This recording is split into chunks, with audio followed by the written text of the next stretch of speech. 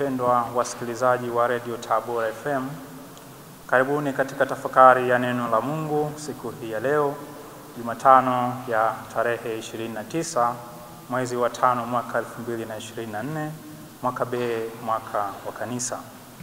Masomo yetu ya leo ni kama ifuatavyo. Somo la kwanza linatoka waraka wa kwanza wa Mtume Petro kwa watu wote sura ya kwanza aya 18 hadi ya 25 na somo la Injili linatoka kutoka kitabu cha Mwinjili Marko sura ya kumi aya 32 hadi ya 45. Karibuni sasa tusikilize somo la Injili. Walikuwako njiani huku wakipanda kwenda Yerusalemu, na Yesu alikuwa akiwatangulia. Wakashangaa, nao katika kufuata wakaogopa. Akawatwaa tena wale tenashara, akaanza kuwaambia habari za mambo yatakayompata, akisema, Angalieni, tunapanda kwenda Yerusalemu, na mwana wa Adamu atatiwa mikononi mwa wakuu wa makuhani na waandishi, nao watamhukumu afe, watamtia mikononi mwa mataifa, nao watamdhihaki na kumtemea mate na kumpiga mijeledi na kumua na baada ya siku tatu atafufuka. Yakobo na Yohane wana wa Zebedayo wakamwendea wakamwambia, twataka utufanyie lolote tutakalo kuomba. Akawaambia, mwataka niwafanyie nini? Wakamwambia, utujalie sisi kuketi mmoja mkono wako wa kuume na mmoja mkono wako wa kushoto katika utukufu wako. Yesu akawaambia, hamjui mnaloliomba. Mwaweza kunywea kikombe ninywacho mimi, au kubatizwa ubatizo nibatizwao mimi? Wakamwambia, twaweza. Yesu akawaambia, kikombe ni ninywacho mimi mtakinywea, na ubatizo nibatizwao mimi mtabatizwa. Lakini habari ya kuketi mkono wangu wa kuume au mkono wangu wa kushoto si langu kuwapa, ila wao watapewa waliowekewa tayari. Hata wale kumi waliposikia wakaanza kuwakasirikia Yakobo na Yohana. Yesu akawaita akawaambia, mwajua ya kuwa wale wanaohesabiwa kuwa wakuu wa mataifa huwatawala kwa nguvu, na wakubwa wao huwatumikisha. Lakini haitakuwa hivyo kwenu, bali mtu anayetaka kuwa mkubwa kwenu atakuwa mtumishi wenu, na mtu anayetaka kuwa wa kwanza kwenu atakuwa mtumishi wa wote. Maana mwana wa Adamu naye hakuja kutumikiwa, bali kutumika na kutoa nafsi yake iwe fidia ya wengi. Neno la Bwana. Sifa kwako, e Kristo. Wapendwa sana ndugu zangu wa Kristo, Mama Kanisa Mtakatifu siku hii ya leo anakusudia kutafakarisha juu ya mambo makuu mawili. Jambo la kwanza ni kuhusu wito wetu wa utumishi kwa wengine ama majitoleo yetu kwa wengine, na jambo la pili ni kuhusu kuomba, na zaidi sana pale tunapokwenda kupeleka maombi yetu kwa Mwenyezi Mungu. Sehemu ya kwanza ya Injili ya leo tuliyosikia hivi punde ni mazungumzo kati ya Bwana wetu Yesu Kristo pamoja na mitume wake juu ya mambo yatakayompata yeye huko Yerusalemu, kwamba atapelekwa kwa wakuu wa makuhani na waandishi, watamhukumu afe, watamtia mikononi mwa mataifa, watamdhihaki, atateswa, atakufa na baada ya siku tatu watafufuka. Kwa muktasari tu ama mfupisho, mambo hayo yaliyotajwa hapo juu ndilo fumbo la ukombozi wetu, yaani mateso, kifo na mfufuko wa Bwana.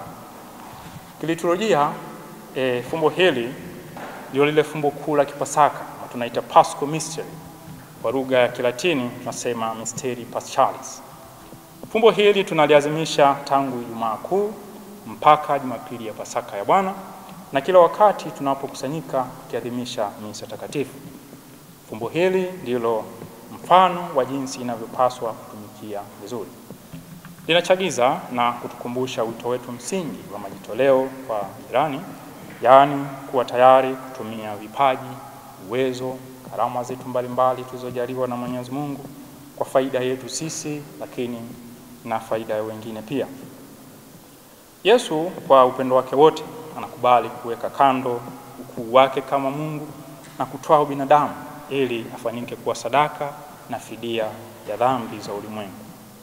Ndugu zangu, huu ndio upendo mkuu ulio zaidi kuliko upendo wote ule ambao mtu anaweza kutoa.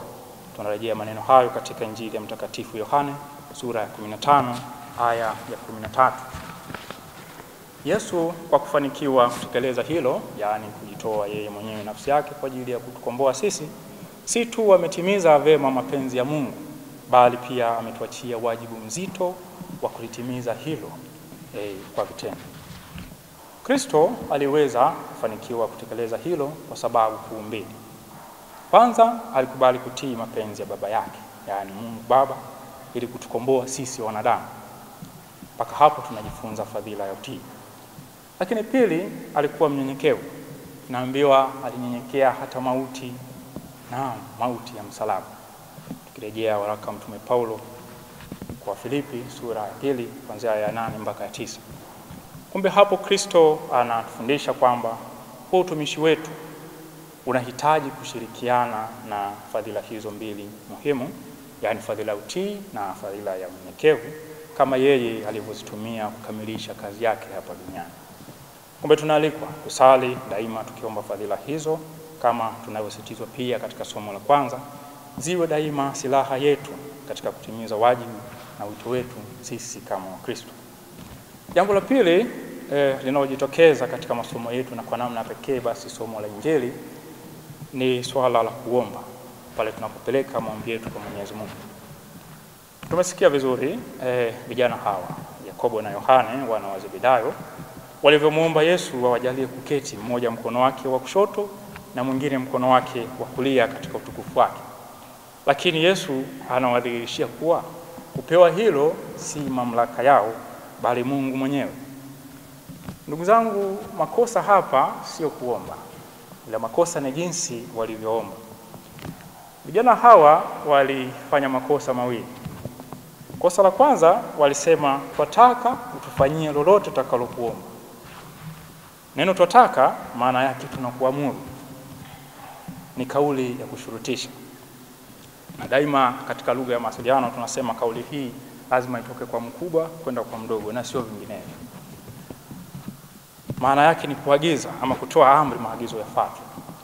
Wapendwa, Mungu haagizwi, yeye ndiye anatuagiza sisi cha kufanya. Kosa la pili waliokosea vijana hawa ni kuchagua sehemu ya kukaa katika huo utukufu, yaani mmoja achagua upande wa kushoto na mwingine achagua upande wa kulia. Naam, ni dhahiri kuwa si tu hapa duniani, lakini basi kwa namna pekee huko mbinguni ni sehemu ambayo Mungu huabudiwa na kutukuzwa sana milele. Ipo baadhi ya mifano kadhaa ya viumbe vya Mungu na sehemu inapoketi huko mbinguni daima vikimsifu na kumtukuza. Kwa mfano, tukirejea kitabu cha Ufunuo sura ya nne aya kumi mpaka ya kumi na moja tunaambiwa kuna wazee huko ishirini na nne ambao wanaketi katika viti ishirini na nne kuzunguka kiti cha enzi daima wakisujudu mbele ya kiti cha enzi wakisema, unastahili kupokea utukufu, heshima na nguvu, e Mungu.